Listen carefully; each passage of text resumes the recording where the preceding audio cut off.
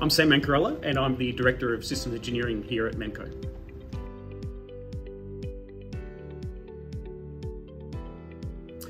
I suppose the best way to answer that question is to first understand what is systems engineering in general. And now systems engineering looks at the big picture of a system of interest, what it needs to do, how it interacts with actors and other systems to fulfill its purpose. Uh, and you achieve this by defining your system's requirements, structure and behavior into an architecture. And then you use that architecture to define the specifications for each of the parts that you need to develop uh, in order to create a complete system. Those specifications will inform the creation of your 3D CAD models for your structure, the behavior and the logic that needs to be implemented as software, and the tasks and the steps that a process of um, a human that would need to be performed. Once you have those parts built and implemented, they are then individually tested to verify that what was built is in alignment with what was specified. Um, those parts then need to come together to perform integration testing to verify it against the system specification. And then finally, the completed system is tested as a whole to validate its behavior um, against its intended requirements for final delivery to customer. Now that's systems engineering. Model-based systems engineering, or MBSE, achieves the exact same goal. The difference is you use MBSE methods and tools to define your requirements, your use cases, and your system architectures as an interconnected and computable model.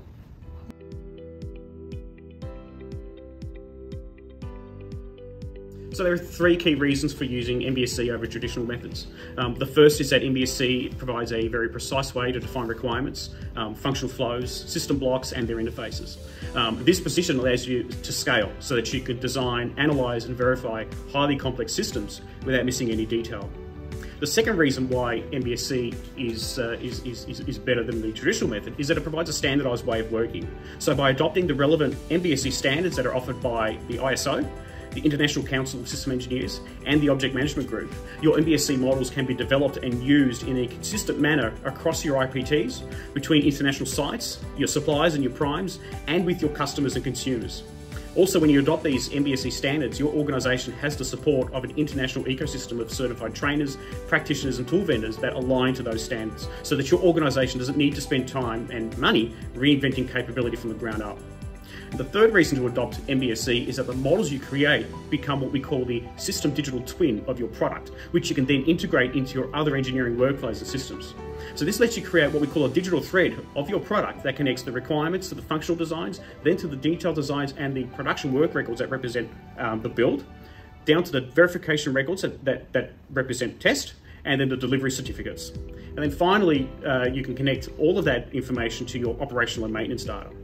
Now, if you were to compare that with the traditional systems engineering approach, you would have all of this valuable information locked up in documents, you know, checked in under version control, but they won't be available uh, for you to analyze or compute, and they won't be embedded as part of your uh, product lifecycle management solutions.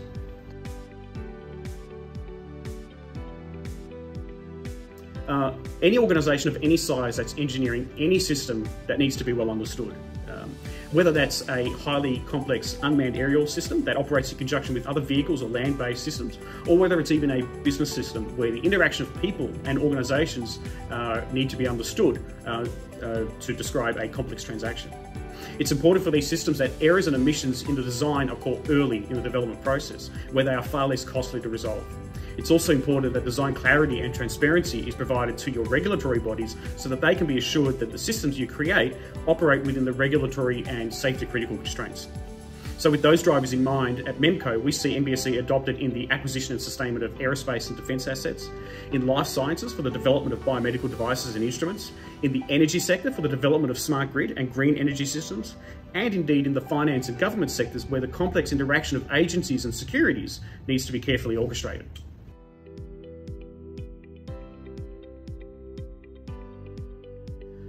We can expect to see model-based system engineering play a key role in the digital enterprise over the coming decade. Um, we can expect to see market demand increase for high-tech solutions to real-world problems, and we can also expect to see increased stakeholder scrutiny over the development of those solutions so that they don't just meet fu uh, functional or regulatory requirements, but that they also meet affordability and sustainability requirements that place a very important societal and environmental lens over any new system of interest. All of this drives demand for greater agility in systems engineering and the need for data-driven decision making by analysing and computing the data that you create during your system design. So to do this requires the adoption of MBSE standards and the use of supporting tools and ways of working within a digital ecosystem that is complemented by highly skilled and competent people. An organisation looking to adopt or grow their MBSE capability needs the assistance of expert practitioners, engineers and trainers.